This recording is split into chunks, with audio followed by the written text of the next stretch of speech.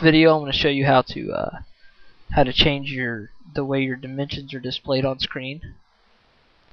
Um, we'll do file new here. Get a fresh start. Um, by default, you can see if I draw, we'll just draw a cube out here.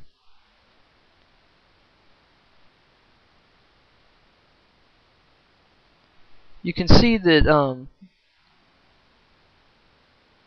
the dimensions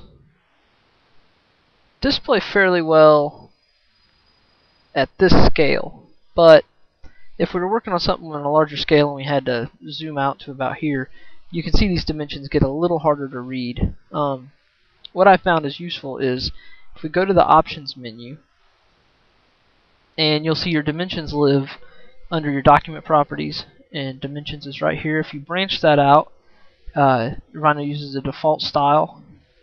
You can change a number of things from your your font style to um, to your your text height. You know the the arrow tips. You can change it to tick marks, dots, um, whatever you whatever you feel is is right for the job. I reckon. And um, what I like to do here when you're working on something of a larger scale is the main thing is to change the text height. Uh, we'll go up to to about three. Well, we'll bump it up to about four. Uh, we'll change these arrows to dots just to illustrate the change here. And down here you can see you, you can change the placement of the text in the dimension. I like to do in dimension line.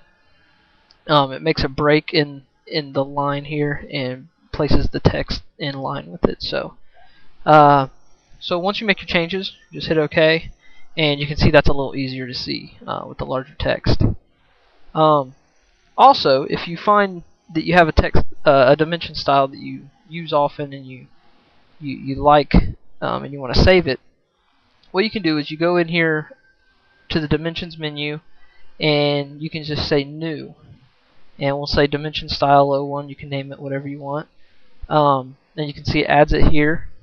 We'll go in and we'll change the I don't know we'll change it to to some off the wall font here. Uh, we'll put open arrows and we'll leave the end dimension and we'll we'll make it 2 millimeter text. So now that we have that anything we draw will be using that new text style so that's that um, that is where all your dimension style is pulled from uh, a lot of times when you're illustrating the size and scale of an object to someone via email or or you know via printout. Um, sometimes it's a little hard to get those those dimensions and annotations to show up how you want. So that is one easy way to to, to change it. So that's it.